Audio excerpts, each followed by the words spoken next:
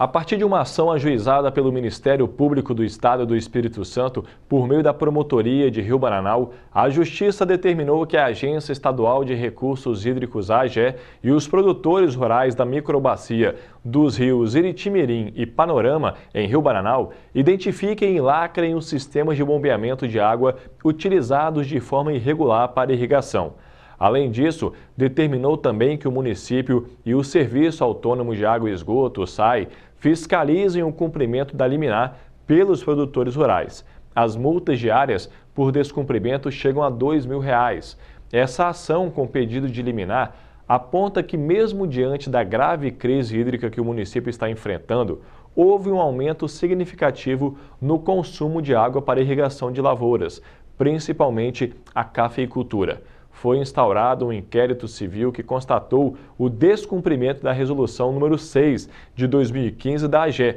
que determina a proibição da captação em cursos de água em todo o estado no período de 5 horas da manhã às 18 horas, 6 da tarde, que não seja aí para o abastecimento humano e animal essa captação. O descumprimento levou ao esgotamento do reservatório do SAI, requerendo então o deferimento da liminar a fim de solucionar essa situação.